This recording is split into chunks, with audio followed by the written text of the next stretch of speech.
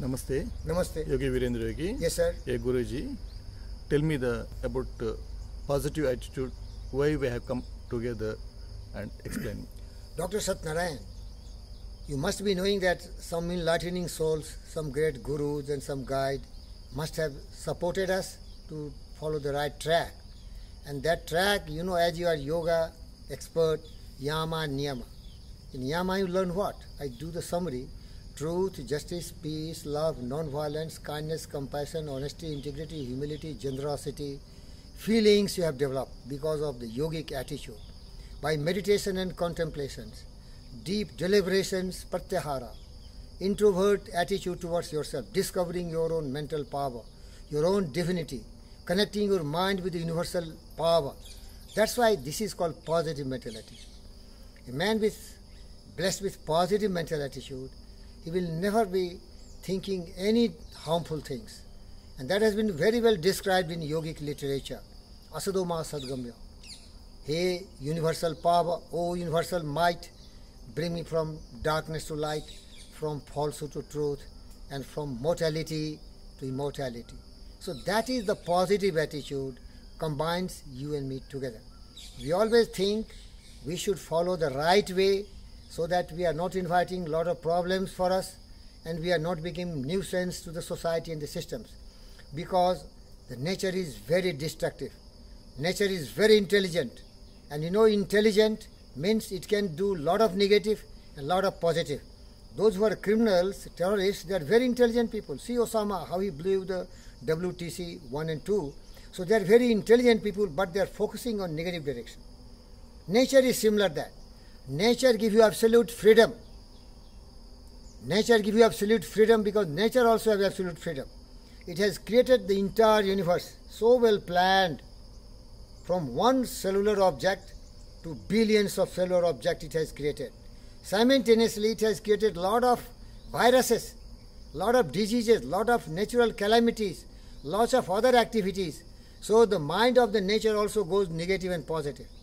But as we are wise, we don't like to suffer and we don't like to be criticized by people and harm and hurt by people. So we never do evils. We are trying to become even better than nature. Nature has big brain, most intelligence, that's why we call it infinite intelligence, but it doesn't have the absolute control. That's why the Yadi Guru and Yadi Yogi, Har Har Shambho Mahadeva gave us yoga, means yoga chittavritti nirodha. Yoga is the art and science of taking full possession of your mind and controlling and directing towards only positive things. I have told you what is positivity. I don't like to waste time in narrating that. So we always pinpoint our mind, anchor our mind towards the pious duty and responsibility towards self, towards the family, towards the society, towards the nation, and towards the universe. So we never do wrong. See, there may be a lot of people who will misunderstand us because their vision is distorted. Like by aging, you know, the eyesight become poor, so everything look blurred. Sometimes your eye becomes so distorted that one thing looks two, three, four. It is not that things have become distorted and manifold. It is the vision of the eyes. Similarly, the viewers, they have distorted vision because there is one eye, one vision which is physical, but the most powerful vision is your internal wisdom. So their wisdom is not at all there.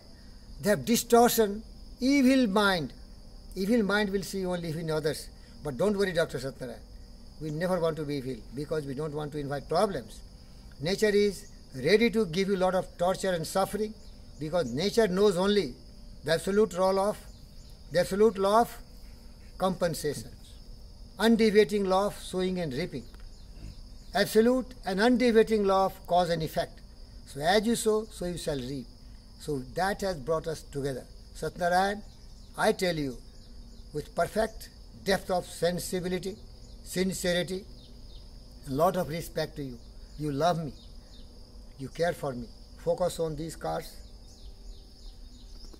A friend has bought the car for me. Who can do this? Tell me. And you have told once, as I love my sons, Dr. Sunil, I love you. And I will do everything to see that you are happy. Who can do that? But it is my responsibility that as much you are doing to me, I will reciprocate. I promise. If you help me, I will also be worthy friend of yours and I will also do something which you love and like. That has brought us together. It is very rare. It is very difficult. We are human beings and you are my best friend. I can tell you with absolute confidence and with backing of my truthfulness. Thank you. You are one of the best friends in Thank my you, life. Thank you for Focus trusting me. Thank you, Dustin. When my leg got cut, you see, I rushed to your clinic, you were sleeping. You just got up, rushed running, and saw my miserable condition. None of the compounders and other helpers were there in your clinic. You instantly did, did surgery. And now, with your care and assistance and medication and surgery, your friend is healthy. Who can do that? That is, sir, called a friend in need is a friend in It need. is my basic duty, sir. I really love you and thank you, sir. Thank you, thank you, sir. Thank you. Thank you, sir.